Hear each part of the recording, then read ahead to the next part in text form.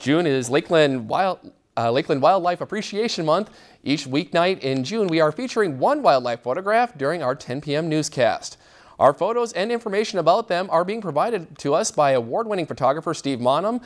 To attract birds to your yard, plant trees and shrubs that produce berries. Mountain ash and flowering crabapple trees serve as a dinner bell for a variety of birds, such as pine grosbeaks, cedar waxwings, robins, and even ruffed grouse. If you've enjoyed this segment of Lakeland News, please consider making a tax-deductible contribution to Lakeland Public Television.